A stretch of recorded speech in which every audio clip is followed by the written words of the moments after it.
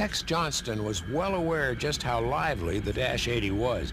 He saw a need to share this knowledge with the public. Uh, we, Boeing, had the, the first jet airplane, which was going to reduce the size of the world by a factor of two when measured by flight time. Uh, never before in the history of aviation has there been such a gigantic step. I was convinced that uh, that uh, the people should really understand what what the get their attention. In other words. The annual unlimited hydroplane races during Seattle Seafair Week always attracted huge crowds. In 1955, the International Air Transport Association and the Society of Aeronautical Engineers planned to hold their annual meetings in Seattle, coinciding with Seafair Week. Boeing Chairman Bill Allen asked Tex to make a test flight on Gold Cup Day with a pass over the Gold Cup course. Tex realized he had a unique opportunity. Aviation people from all over the world would be watching. Telling no one, he planned his own special demonstration of the Dash 80's capability.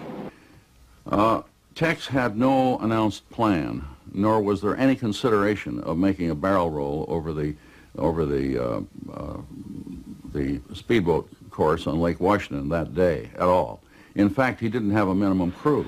I did a 180 degree turn, came back down over the water pulled up, established the climb, put in full aileron, did a nice 1G roll, and came out in a level flight.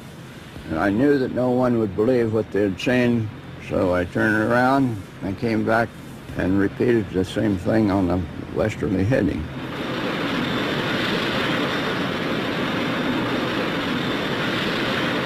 I happened to be out at the course. I was not on one of the boats, but I came out in the course and I saw him make the barrel rolls, and uh, I was dumbfounded.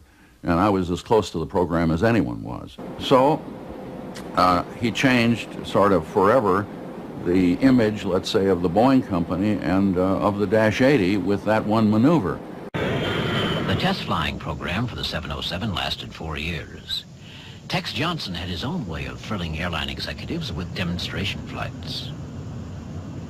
IATA uh, International Air Transport Association, which includes all the airlines of the world, had assembled in Seattle for their annual convention.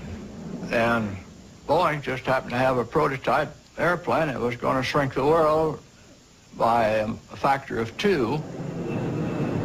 And I've sold fighters and commercial airplanes, and you demonstrate them to impress people what they're capable of.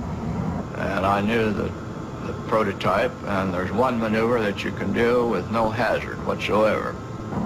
I decided that I would do a roll to impress the people. So I came across and did a, a chandelle.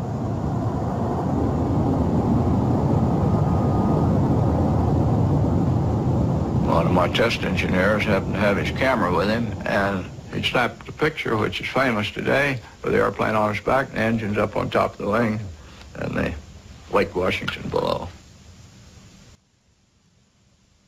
I was called to Mr. Allen's office uh, Monday morning, and Mr. Allen asked me what I thought I was doing, and I said I was selling airplanes. And uh, explained it's a 1G maneuver, and it's absolutely non-hazardous, but it's very impressive. And uh, his comment was, uh, you know that now, we know that, but just don't do it anymore.